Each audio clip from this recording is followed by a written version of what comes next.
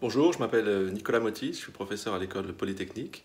Euh, je travaille depuis des années sur euh, les questions de pilotage des performances, de management de l'innovation et d'investissement socialement responsable. Et j'ai le plaisir de, participer depuis l'origine à ce prix des Integrated Thinking Awards.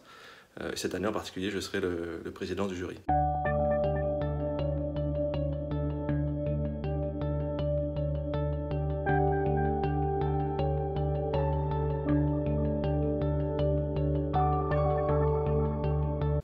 Alors pourquoi postuler à ce prix? Essentiellement pour trois raisons, de mon point de vue. Première raison, c'est euh, bah, une occasion euh, d'explorer des questions euh, extrêmement intéressantes pour votre entreprise.